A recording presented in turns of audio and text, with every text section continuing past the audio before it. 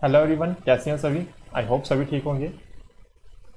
देखो गाइस आपका जो J K S S B का फोर्थ क्लास का एग्ज़ाम हुआ है उसमें से एक क्वेश्चन ये भी आया था ट्वेंटी एट फैब को। ये भी डिस्कस कर लेते हैं। एक्चुअली ये शूट गया था जो मैंने वीडियो डाली है। तो ये क्वेश्चन को डिस्कस कर लेते हैं, किस तरह से इसको सॉल्व करना है, बहुत ईजी सा क्वेश्चन है। Two cylinders of same volume have radii have their radii in the ratio three two one means दो सिलेंडर्स हैं cylinder one and cylinder two इसका जो रेडियस आर वन है, इसका रेडियस आर टू नाम रख दिया मैंने। इसका रेशियो मान लो कितनी है? थ्री इज़ टू वन ये दी हुई है आपके एग्ज़ाम में। बोलता है दोनों का वॉल्यूम जो है क्या है? सेम है। मीन सिलेंडर वन और सिलेंडर टू का जो वॉल्यूम वो क्या है? सेम है। ठीक है?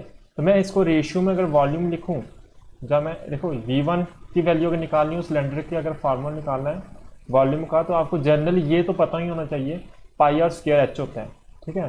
तो यहाँ पे मैं क्या लिख रहा हूँ? सिर्फ़ पाई आर स्केयर एच इधर भी क्या लिख रहा हूँ?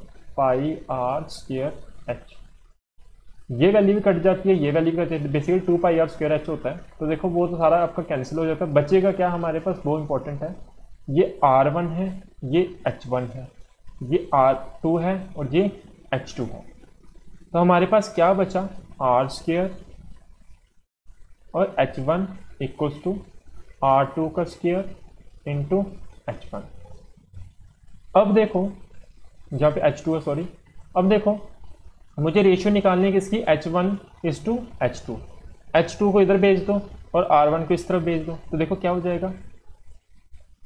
H one upon h two equals two इधर क्या है? आर टू का स्केयर और इधर क्या जगह नीचे? आर वन का स्केयर आर वन और आर टू की रेशियो दी हुई, देखो आर टू कितना दिया हुआ था आपका? वन दिया था और आर टू कितना दिया? थ्री तो इसका भी स्केयर है उसका भी तो होल स्केयर लिख सकता हूँ मैं। Means h one upon h two क्या हो जाएगा? वन अपॉन नाइन ये आंसर होगा आपका जो कि क्या है? D option D option is your right answer कि हाइट की रेशियो पूछी हुई थी जब वॉल्यूम दिया है और रेडियाई क्या? रेशियो दिया हुआ था। इस तरह से इस क्वेश्चन को सॉल्व करना था। आई होप जब आपको समझ आ गया होगा किस तरह से इस क्वेश्चन को अटैप्ट करना होता है। राइट तो अल्टीमेटली आपको ये पता होना चाहिए जब वॉल्यूम दिया हो तो आपकी हाइट की रेशियो क्या हो जाती है? R two upon r one का होल स्क्वायर ये फार्मूला होता है क्वेश्चन करने का, ठीक है? तो अगर आपको वीडियो से कुछ सीखने को मिला है तो वीडियो को लाइक करो, ज़्यादा से ज़्यादा शेयर करो अपने फ्रेंड्स के साथ और चैनल को सब्सक्राइब कर लो। Bye bye have a nice day